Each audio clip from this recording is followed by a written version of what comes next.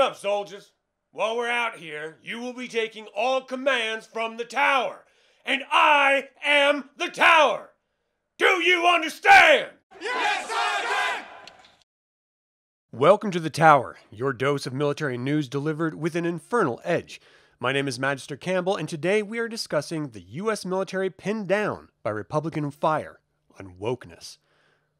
Now, this is from Barrons.com, and it's written by Frankie Taggart on July 13, 2023. When the U.S. Army released a recruitment ad showcasing a female soldier who had been raised by two mothers, liberals saw military leadership comfortable in its own skin and strengthened by the diversity in its ranks. But conservatives cringed at what they perceived to be a woke fighting force, weakened by effete generals with a liberal political agenda and a compulsion to virtue signal at the expense of combat readiness. Quote, Holy crap! U.S. Senator Ted Cruz said in a tweet, reposting a video contrasting the 2021 commercial with images of a macho, shaven headed Russian warrior, sinuous arms bulging as he performed push ups and fired his weapon.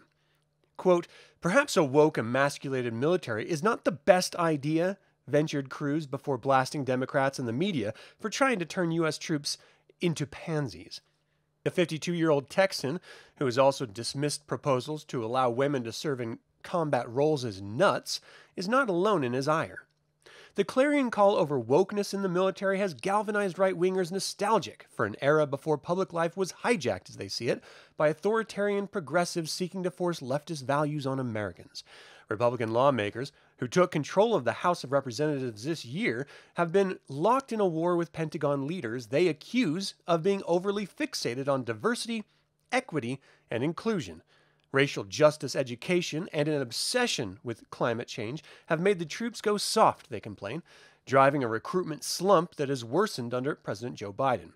This disdain for military leadership has seeped into the Republican grassroots from Donald Trump, who has given multiple speeches since leaving office railing on, quote, weak and ineffective generals more concerned with political correctness than fighting their enemies. Florida Governor Ron DeSantis, Trump's main rival for the 2024 Republican presidential nomination, has claimed that China is laughing over a supposed fixation with pronouns in U.S. military leadership. Meanwhile, Defense Secretary Lloyd Austin got into a shouting match in the House last year as a far right congressman accused the former four star general of allowing the Pentagon to embrace socialism with mandatory pronoun training.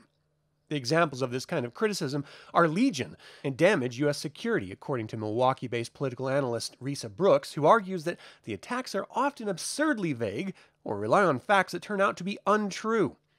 Quote, they undermine the military's internal cohesion, public oversight, and distract Congress and the American people from serious national security problems, all while addressing a problem that is poorly defined and mostly unsubstantiated the Marquette University professor wrote in a recent commentary. Those who have long seen these attacks for what they are, more performative partisanship than substantive critiques for real problems, should do more to counter them effectively. The main event roiling Washington this week has been the Pentagon's budget, enacted with cross party support every year since the early 1960s and usually without drama. Under its new Republican leadership, however, the bitterly divided House is using its power over the purse strings to focus on wokeism in the military and force policy changes. Lawmakers have been debating dozens of amendments to the $886 billion defense policy bill on so called culture war topics, from abortion policy, COVID 19 vaccines, and racial diversity to medical treatment of transgender troops. There are proposals to block or reduce military aid to Ukraine, end the removal of Confederate names from bases, and defy White House climate edicts, and others that have nothing to do with the armed forces. There's no chance of the bill getting through the Democratic led Senate with the conservative provisions intact, but compromise will be required to get some kind of package to Biden's desk to keep the military funded. Meanwhile, the normally stoic military brass has begun pushing back, putting their top officers armed with cold hard facts that refute some of the more political attacks targeting them. Army Sergeant Major Michael Grinston told Republican lawmakers in March that a fraction of the hours the military spends on training are devoted to equality. Quote, When I look at it, there is one hour of equal opportunity training and basic training and 92 hours of rifle marksmanship training, he said. Chief Master Sergeant Joanne Bass was asked about pronoun training in the Air Force recently and had to explain that there is no such thing. And Marine Corps Commandant General David Berger said in a public forum in December wokeism was not a big concern among the rank and file. Quote, I don't see it, I don't hear it, they're not talking about it, he told Reagan National Defense Forum. All right, so here's my thought. First and foremost, this is just partisan theater. That's all this is. Republicans are doing everything they can to make sure their donors see them as fighting for the conservative rights fighting in a, a, a, world where conservatism is, is being pushed down by the liberal communist agenda. It's all lies, but that's what their donors want to see, and so these puppets have to dance their little marionette asses to those strings. So, before we talk about this, let's just define woke because everyone seems to pretend it means something that it really doesn't. Merriam Webster's definition of woke is aware of and actively attentive to important societal facts and issues, especially issues of race and social justice. That's it.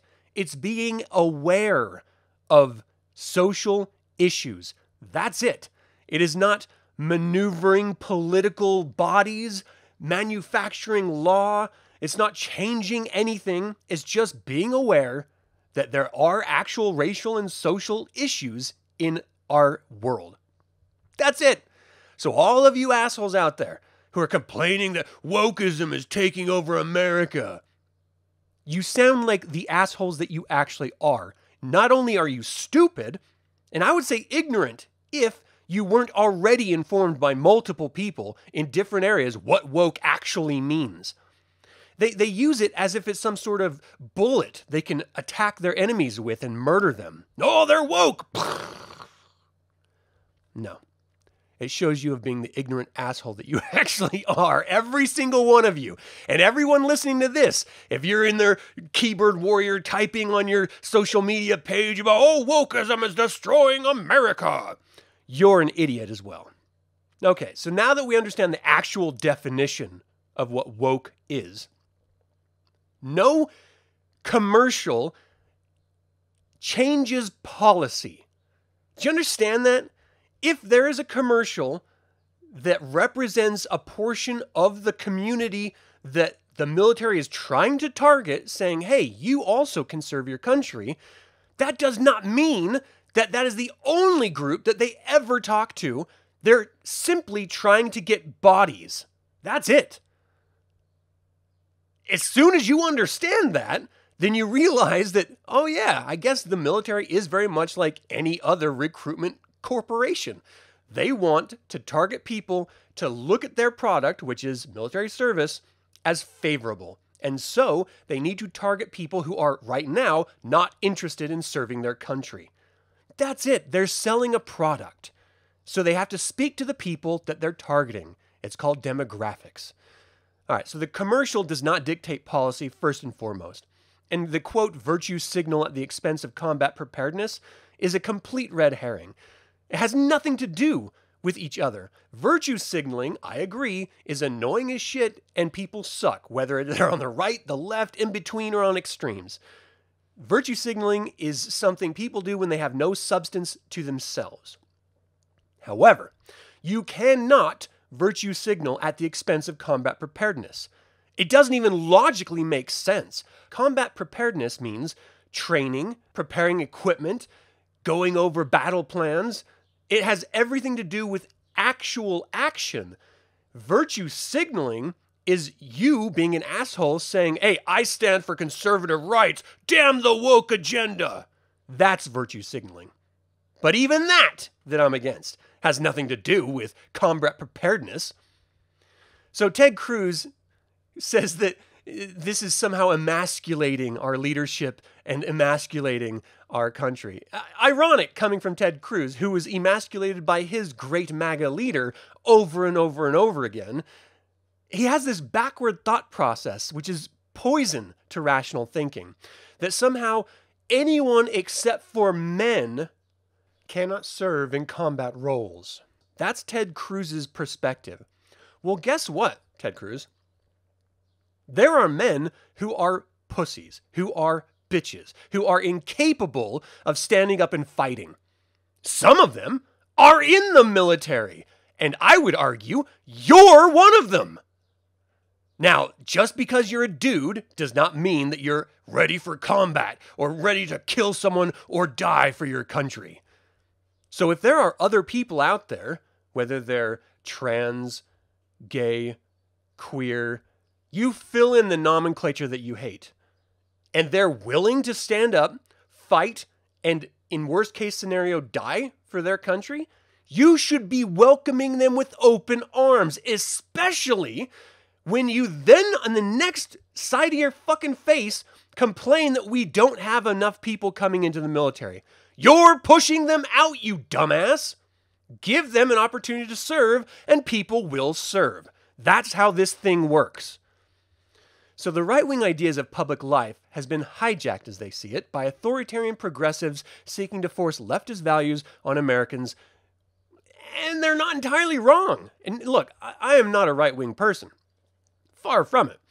But the left has really sort of gone off the fucking they've, they've jumped the shark. Like you can't you can't pretend like there aren't groups in the left that take their their uh, progressive talking points into militant areas, equally on the right. And so it's not like this uh, this side does it, that side doesn't. But you do have to recognize that if there was no political agenda by leftist groups in order to sway public opinion, then the right wouldn't be reacting this way. So, yes, they do exist. Yes, pronouns, in my opinion, are virtue signaling. If you come and meet me for the first time, say, Hi, my name is X or Y. You don't have to say, Hi, my name is X or Y, and my pronouns are X or Y. No, that tells me that you're a virtue signaling asshole. You tell me what you want me to call you, and I will call you that. If I make a mistake because I assume you're one gender over the other, simply based on ex- experience and uh, appearance, correct me and I will adjust fire. That's all. You say, no, no, she. I'll say, okay, she, her. It doesn't matter. But don't stand up and open with that. It's the same as if you came up and said uh, any of your political opinions. Hi, my name is X. I stand for the right of blah, blah, blah. No, that means you're an asshole. so it does, I understand why the right is freaking out. First of all, the right is freaking out because their old ideas of suppressing portions of this country, the population, are now out of style. The whole Southern strategy, the whole racism and bigotry, that's all going the way of the dodo, and they're terrified because that's the bread and butter of the Republican Party. And it always has been. You can't argue that. So, yes, they're getting afraid because they're losing in the global political social sphere. But the problem is, is that they're thinking of it as losing rather than, oh, we just have to adapt to the time that we're living in. You can't live in a modern age and use Stone Age technology. You can't live in a modern age and use Stone Age medical uh, concepts uh, using leeches rather than uh, uh antibiotics. You have to adapt to the time that you're living in. That's the benefit of living in modern times, is that you learn from the mistakes of the past and enjoy reaping the benefits of the advancements of the past. Simply because someone likes to fuck whoever they want to fuck and likes to be identified however the fuck they want to be identified and may or may not want to serve in the military has nothing to do with politics except for when the Republicans bring it into the political sphere and actively stop progress so that they can show their donors, hey, look at me, I'm a defender of conservatism. You're an asshole. All right. So it is possible the public's lack of faith in the military is not due to wokeism. It's possible that it's due to the right wing constantly condemning the military every single opportunity they get. We have an ex president, Donald Trump, who is actively in speeches all the time talking shit about the military. Do you think the reason why people don't like the military nowadays or don't want to join it is more because you are constantly saying how horrible and stupid and failing and, and losers they are? Maybe that has some impact on whether or not people want to join it.